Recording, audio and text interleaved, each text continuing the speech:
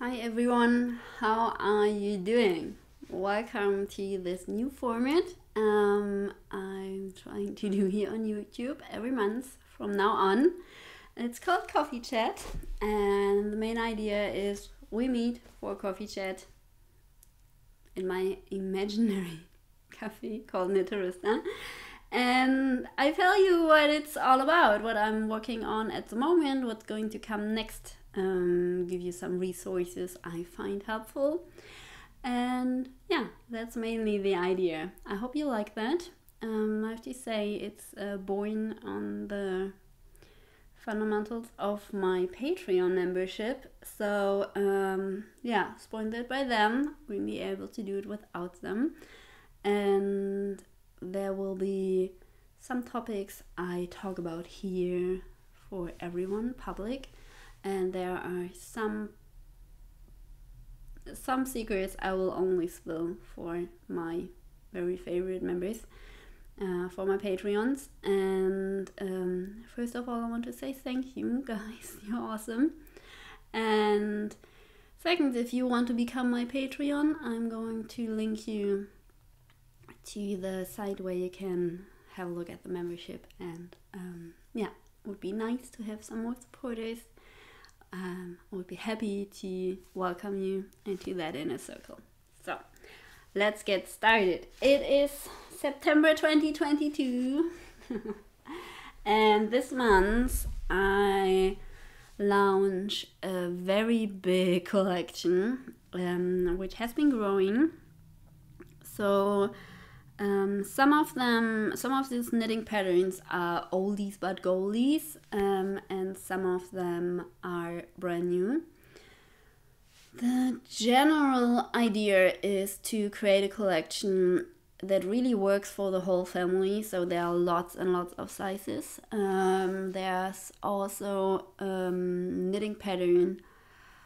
I first of all enjoy to knit because it's more knits than purls and it's only knits and purls so it's um, easy and smooth and for I think for people who just got started with knitting it's easy to make. And for people who already are knitting for many years it's um yeah it's nice to relax but it's not boring. So that's the that's the idea of the experience. Um, maybe even more important, I think that this pattern is suitable for men and women, boys and girls, all genders. Um, and I think uh, for me that's important. I'm not much about this whole feminine frills, um, and but I also like a certain classic elegance.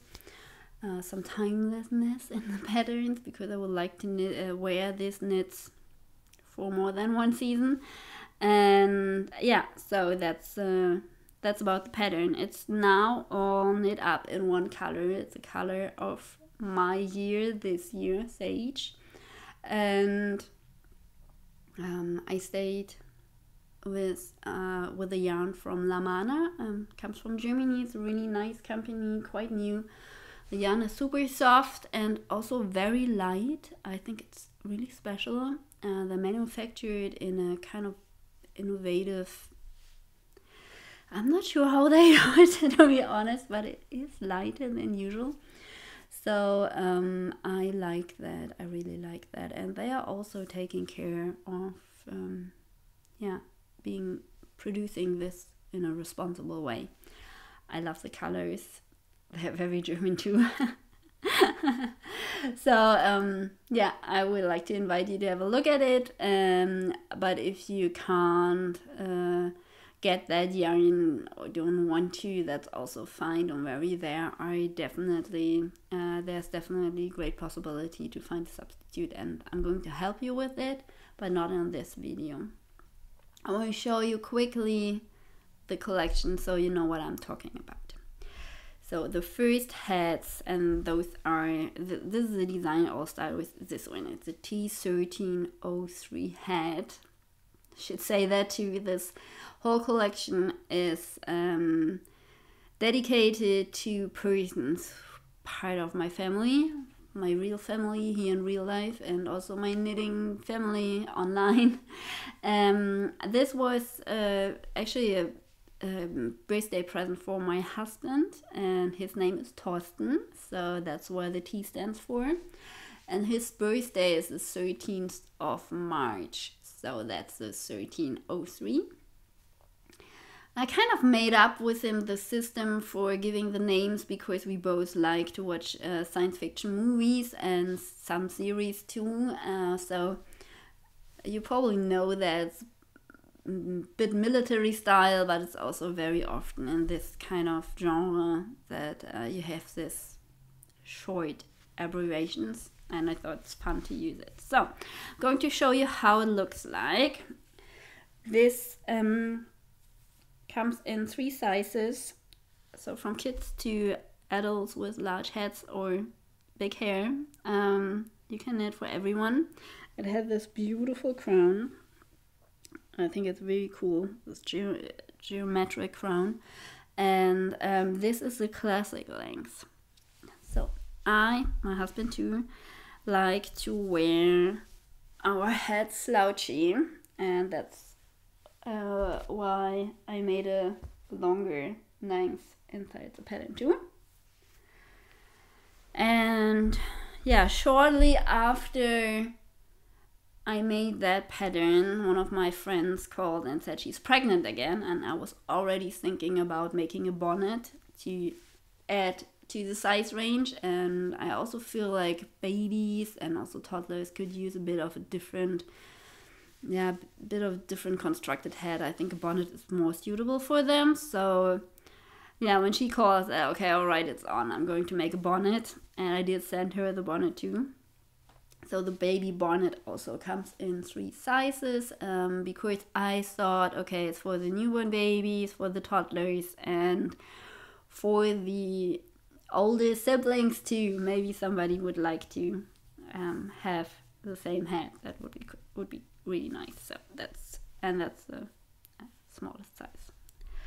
Okay, that's a bonnet. Um, when I, I think when I test knitted, um, anyway, Jeffrey, one of my favorite knitters, um, he knit this head and afterwards he, in the usual weight in sports weight and afterwards he asked me if he could knit in worsted weight because it was getting really cold and he was a bit worried about his ears. I said yeah. So we figured that out for his head size and that worked because he got lucky but generally this crown has a 16 stitch jump. So it's quite a lot um, can't be made different and I knew if I want to make a knitting pattern for this head um, in a thicker yarn weight, um, I wouldn't be able to write it for all needed sizes. So I did create, it kind of inspired me to create another head pattern that would um, be suitable for worsted weight yarn, Aran worsted weight, and I made this one. So it's a different crown. I really think it's cool. Um, and this, again, um, it has three sizes, and there is a, you know, classic length again. And there's a slouchy length. This is a slouchy length. Uh -huh. And you can wear it, you know, the street styler style if you like it. I I don't know why, I think it, for me it's always really comfortable to wear hats like this, and I think it looks cool on my head, but yeah, not everybody's style. Still, um, my test knitters loved it, and I saw it on a lot of dudes actually, which was really cool. I loved that. Um, so that was the first launch. The next one, um, next pattern that comes is this one always have to think about how to put that on.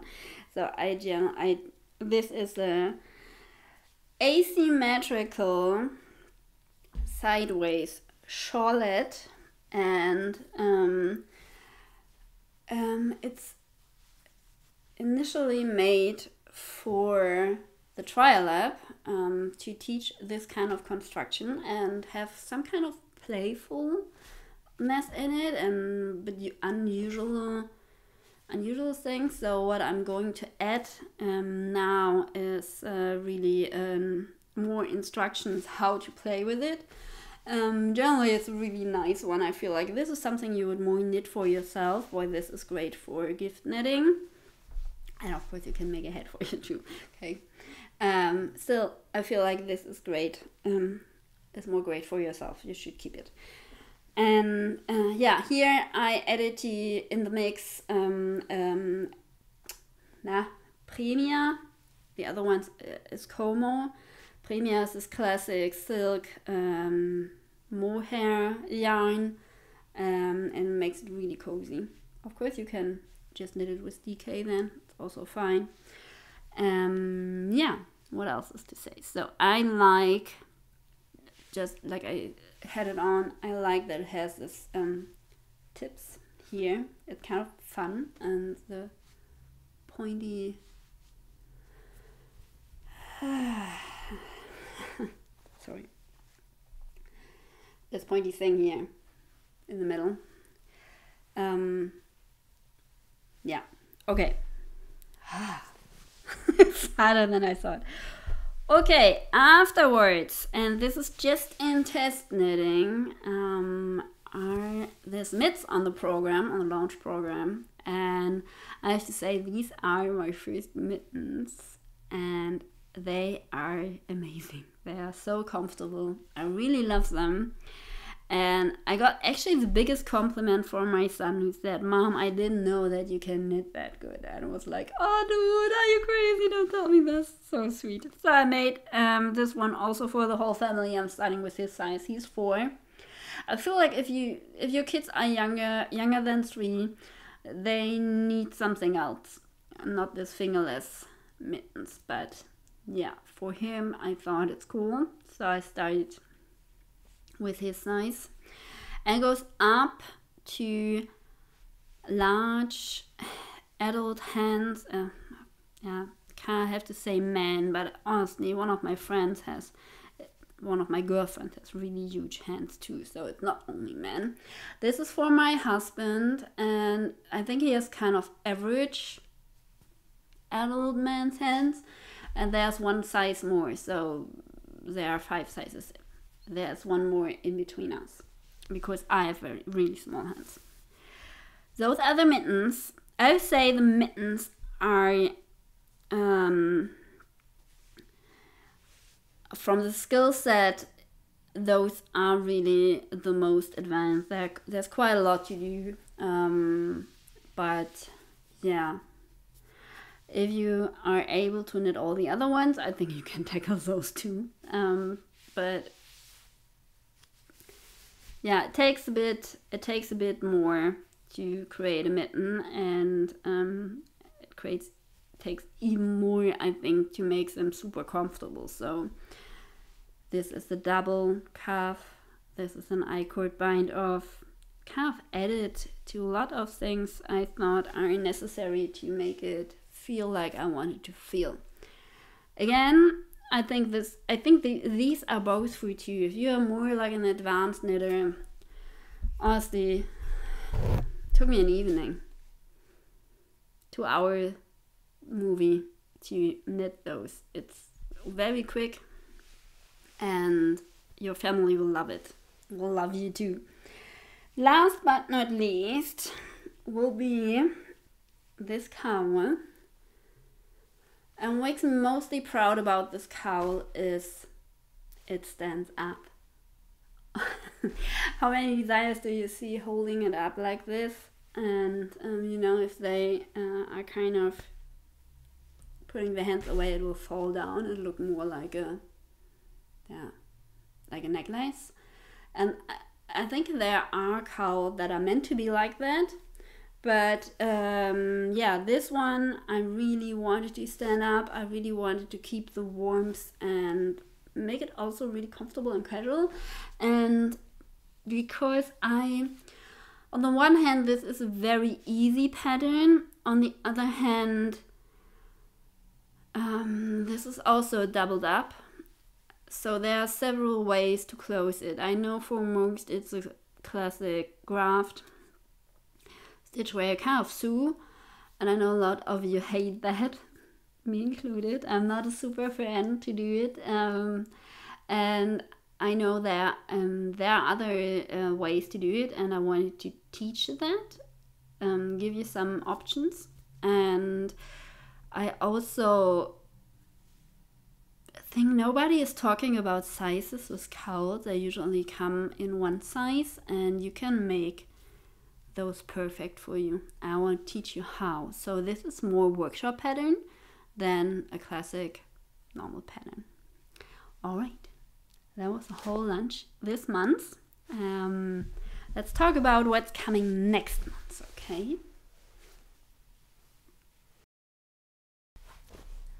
All right, let's talk about what's coming next in October and give you a little sneak peek.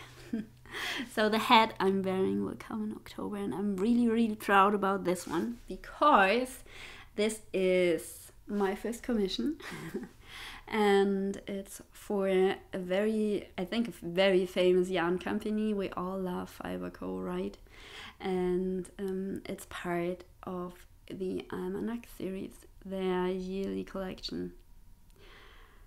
Um, yeah, I've been over the moon getting into that one. It was really, really cool for me. Felt like a huge next step and was so nice to work with them.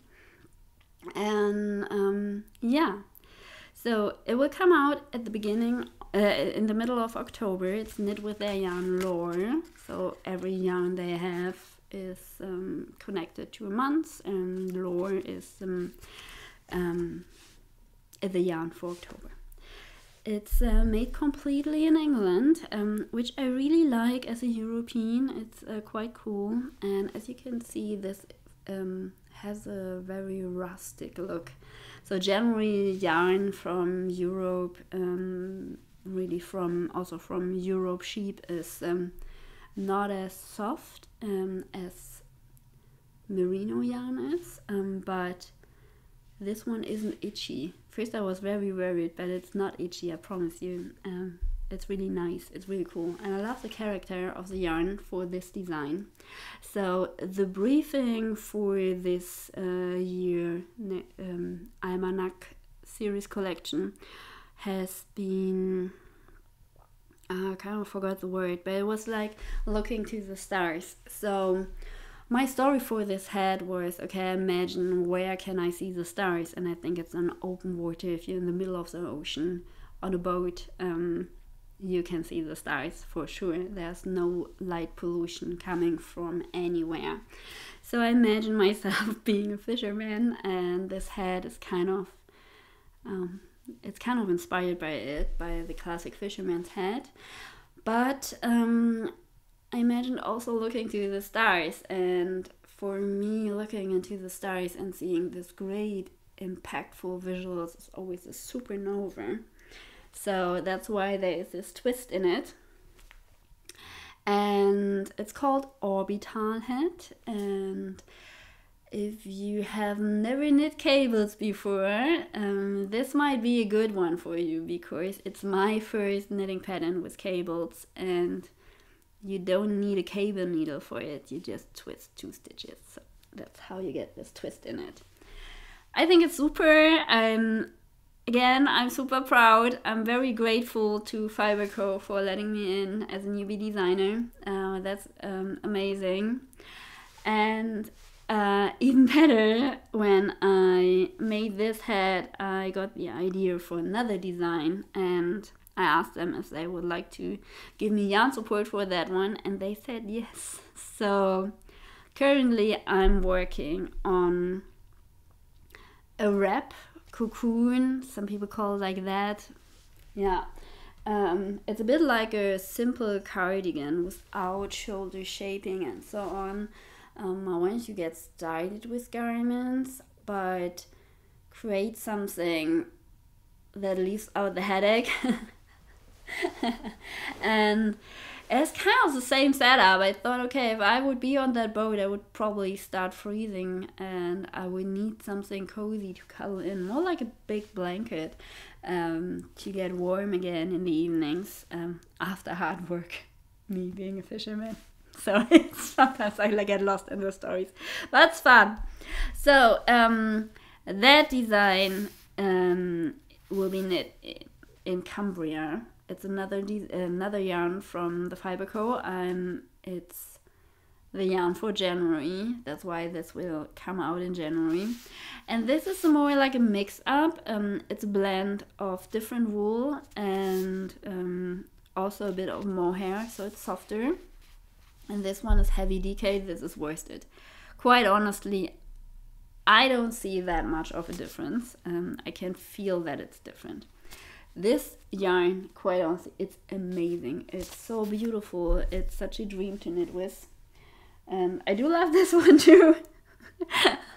they are both great. They are really different. So, um, yeah, what I wanted to create is first of all wrap, but I also wanted to try the real fisherman's rib because being a fisherman, and I wanted to amp up the cables and I thought about this time more looking on the water. So this will called water wrap and it has this kind of my first swatch. Um, it has this beautiful stitch pattern and I think it's amazing. I think it looks like water. It's also this color is so cool. It's like a really dark blue with some kind of more greenish speckles. Okay. Anyway so i'm trying to find out the perfect ease for uh, actually my size at the moment. This was a bit too much. This wasn't much uh, wasn't enough. It's going to be somewhere in the middle and I also did a swatch right at the beginning, um, trying to tackle down some details. And I know those are a bit creepy, minus two. It's really my doll from my childhood, um, but it helped immensely to understand how I need to build up this design. So I'm going to show it to you anyway. I hope you don't freak out. So that's um, about the idea. You probably have seen wrap or cocoon before. It's not a big secret, not something I invented. Um, um, what I want to do is a color. I think this is really important for having the full cozy impact. And yeah, I was trying if I want to do, you know, two by two rib, one by one rib, how I want to end up, if I want to end up with an I-cord bind off or usual bind off, uh, all these kind of things. And um, yeah, how to work this color there you can see maybe there are also two different versions. So this is kind of how how I design. I need to try it out a bit um, and uh, yeah it's a big if it's a big one it's better to do it uh, in a kind of smaller scale. And yeah, this one will come out in January, but I will call for test knitters. I need to call for test knitters, I think, in October, or you all swamped up. And of course, I want to have more than one size, um, so it's going to be quite a big test knit, and I hope I find some people in the bigger sizes. That would be really cool. I think it's a great one for all kinds of people, doesn't matter, you know, where your curves are. Okay, so that one. Let me get the next one. Another thing I want to do this year is um, bring out all my patterns in my new pattern layout, um, take some new pictures, but mostly add something to them with a relaunch. So this is the AD cowl and this one will definitely get a relaunch in October too.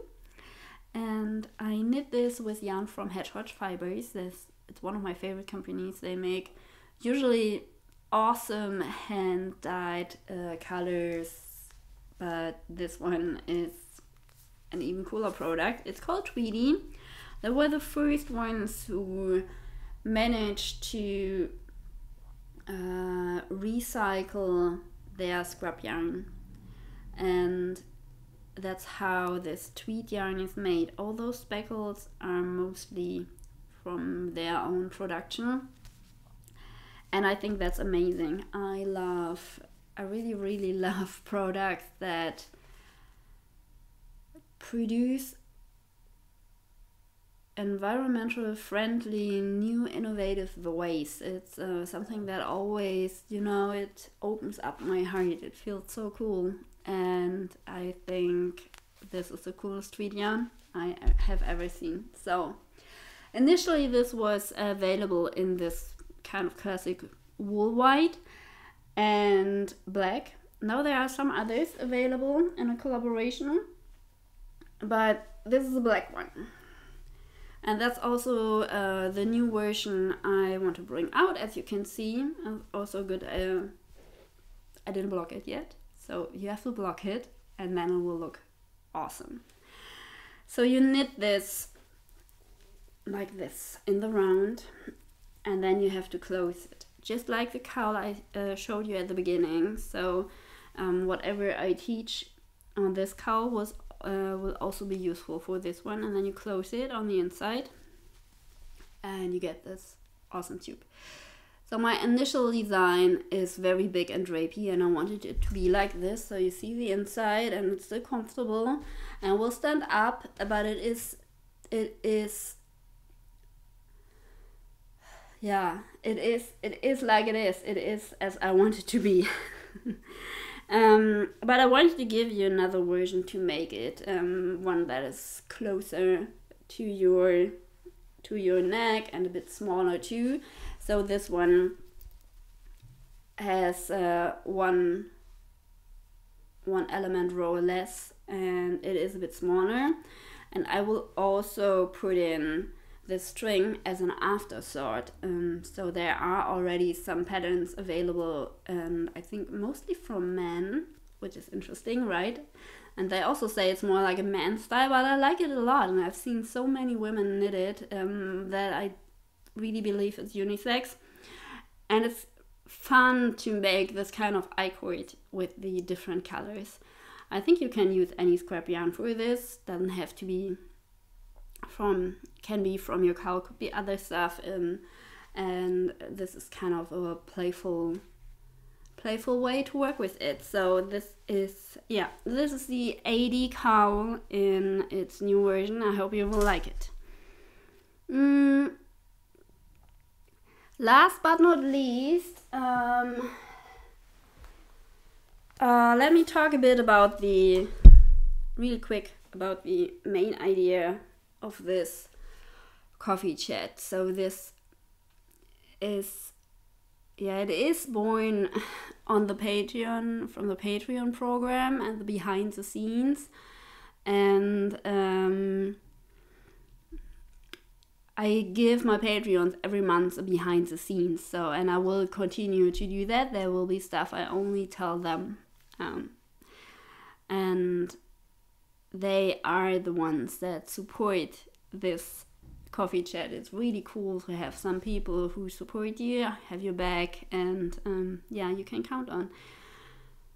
Um, and that is, yeah, that is one part. The other part is that I, right from the beginning, I had a vision for Knitterista, and that is that Knitterista is a cafe and uh, I say that too because a lot of people don't get it right. I have no interest about ever make ever opening a real brick and mortar place a cafe or so um, but i'm thinking about ways to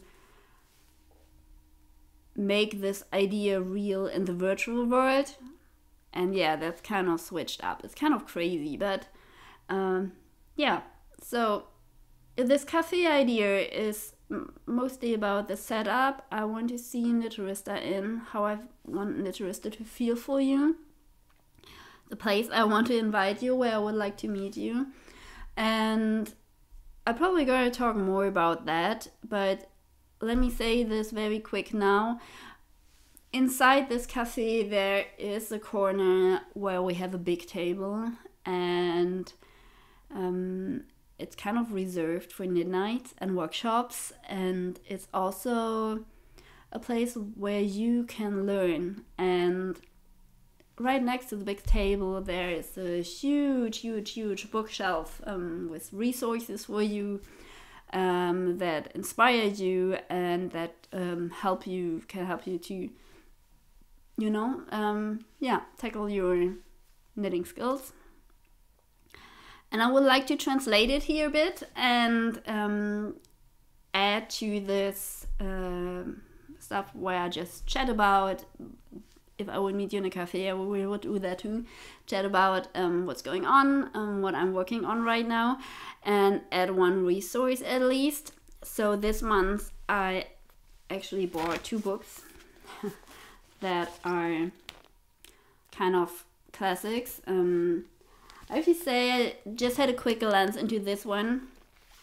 I know a lot of people are talking about it, say it's very helpful. I'm not sure. like I said, I'm going to um, I'm going to talk about this a little later. Just wanted to add it. Um, but I found this one really helpful. You know, I just showed you my first uh, mittens pattern and um, I feel like there are not that many resources out there that teach you how to how to create accessories. So there's there are a lot of patterns out there, but not really.